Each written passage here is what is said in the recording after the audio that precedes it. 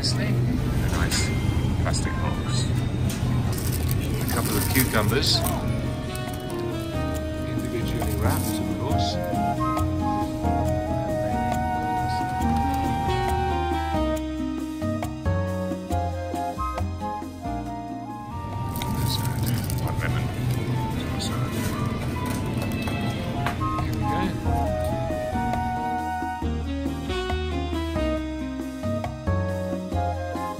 Okay, this is amazing.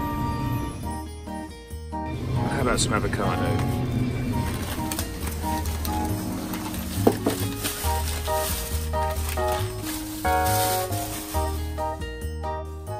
So here's the final product salad and fruit.